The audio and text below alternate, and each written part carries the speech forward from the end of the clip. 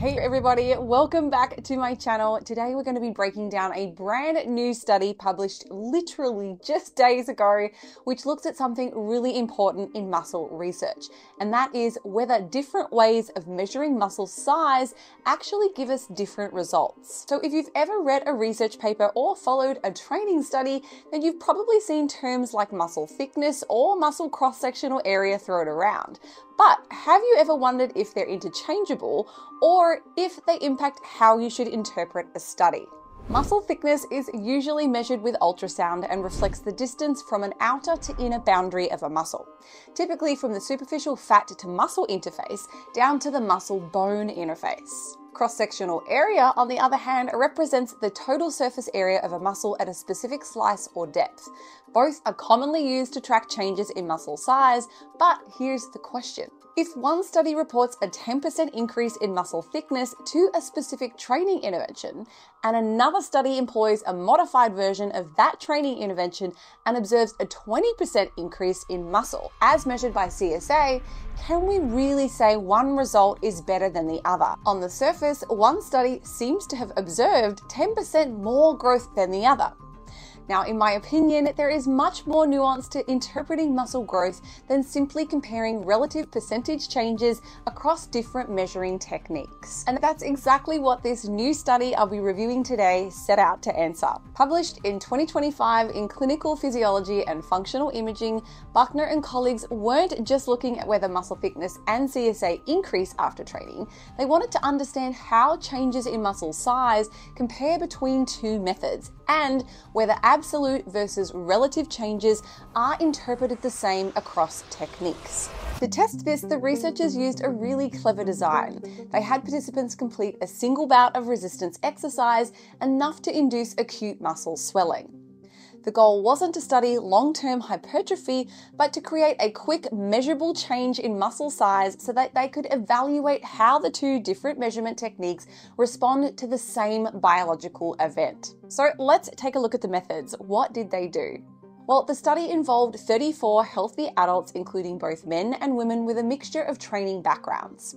Everyone came in for a single lab visit, and before doing any exercise, the researchers measured muscle thickness and cross sectional area of the rectus femoris, which is a muscle of the quadricep in both legs. The dominant leg performed the exercise while the non dominant leg served as a control. And this setup allowed the researchers to account for measurement error and better isolate changes due to exercise. Both muscle thickness and CSA were measured using B mode ultrasound. Muscle thickness was assessed using a straight line distance from the superficial fascia to the bone, while CSA was calculated by tracing around the muscle's perimeter. Importantly, both measures were taken from the same images at the same anatomical site, providing an opportunity to directly compare the two techniques under identical conditions. After baseline scans, participants performed a 1 rep max test on a leg extension machine to determine the exercise load. They then completed 5 sets of knee extensions to failure at around 70% of their 1 rep max, with 2 minutes of rest between sets, with all sets performed unilaterally on the dominant leg. Immediately after the final set, the researchers rescanned both legs to assess changes in muscle thickness and CSA. They focused on two key questions. The first was how much did muscle thickness and CSA change from baseline to after the workout? And number two, how do absolute and relative changes compare between these two measurement techniques? So let's dive in and take a look at the results. After the workout, both muscle thickness and CSA increased, but not in the same way. Muscle thickness increased by 0.4 of a centimeter or a 25.5% relative increase with a large effect size of 2.49. Cross sectional area increased by 0.73 centimeters squared or a 37.3% relative increase, but with a smaller effect size of 1.2. So while CSA showed a larger percentage increase, muscle thickness showed a stronger and more consistent change. In fact, 32 out of 34 participants had muscle thickness changes that exceeded the minimum detectable difference, whereas only 15 out of 34 participants showed meaningful changes in CSA. This suggests that muscle thickness may be more sensitive to small or short-term changes in muscle size. Now for the data geeks out there, the authors also ran a correlation analysis analysis to see if changes in muscle thickness aligned with changes in CSA. The correlation coefficient was 0.33 with a p-value of 0.05, which is just above the usual threshold for statistical significance. This means that there was a weak to moderate positive relationship, but it wasn't strong enough to conclude that changes in one reliably predict changes in the other. So, what does this all mean? Well, this study gives us a few key insights. First, muscle thickness appears to be more consistent and sensitive in detecting short term changes, possibly because it's simpler to measure and less affected by small shifts in imaging angle or probe pressure. CSA, on the other hand, while useful, showed more variability and was harder to measure precisely. More importantly, this study shows that a percentage change in one metric doesn't translate directly to the other. A 10% increase in thickness isn't necessarily better or worse than a 20% increase in CSA. They're just measuring different aspects of muscle morphology. Now, this brings us to a very real world example. Recently, I heard some scientists and science influencers on a podcast say that a 0.71 centimeter increase in the quads, as seen in some of the volume research, isn't that crazy.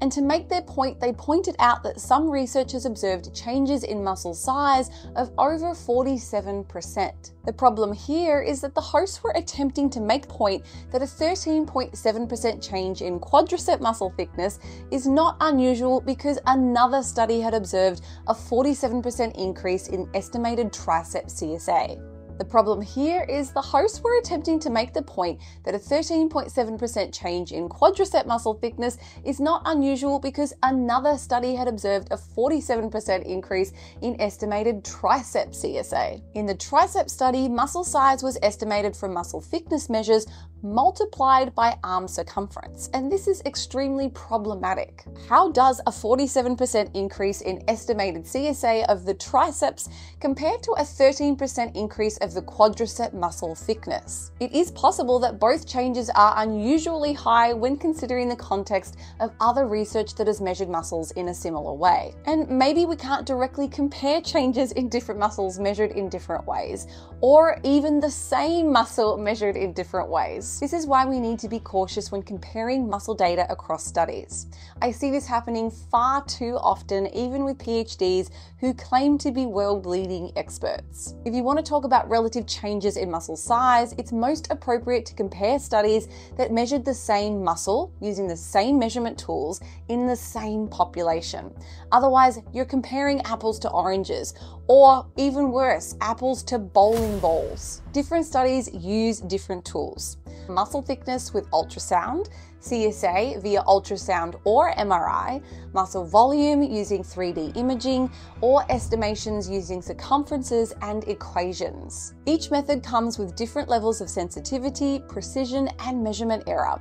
So if somebody says this program led to a 13% increase and that one led to a 47% increase, we really need to ask were they measuring the same muscle and were they measuring using the same methods? And unless the answer is yes, those comparisons may not be valid. This study is a great reminder that how we measure muscle matters, and it matters a lot. The tools we use shape not just what we see, but how we interpret and then communicate these results. Whether you're a coach, a researcher, or someone just trying to understand their own data, it's critical to consider the method behind the metric. So, thank you so much for watching. If you found this video helpful, please give it a like, subscribe to my channel for more evidence based breakdowns, and feel free to leave me a comment. What do you think is the most misunderstood part of muscle growth research? I would love to hear your thoughts. Now, finally, for more details about my one on one coaching, my evidence based workout at Be a Fit, or my educational books and research review, please take a look at the links in the description below, and I'll catch you in my next video.